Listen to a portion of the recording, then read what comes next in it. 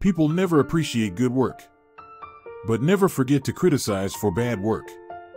You must spend money to make money.